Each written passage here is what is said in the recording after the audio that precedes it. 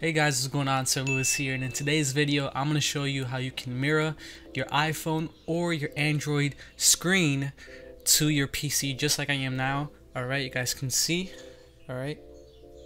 It's literally the same thing. Whatever I do here, it, it shows it on the computer. So if you want to record videos like I am doing now, or if you want to do for some other type of reason, this is how you do it free, and it's easy and simple. And for the iPhone, you guys can see it's wireless all right so this is how you basically have to do. So i'm gonna leave a link in the description to go to the site. Don't worry it's all free.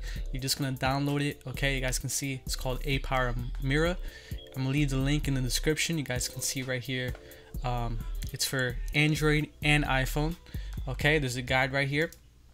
Um, for basically for the android you're gonna have to have the USB and connect it. I think also for the Android you might be able to do a Wi-Fi, but you gotta enable USB debugging as you guys can see right here.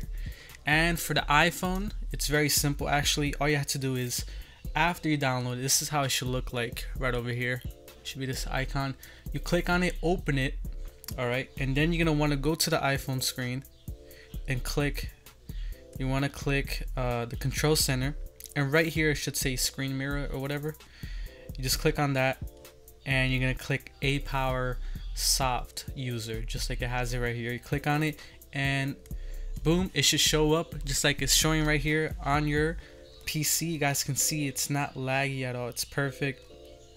Um you can play games on it. You can do anything you want to do. You want to make a video just like I am now for YouTube or something you can do that.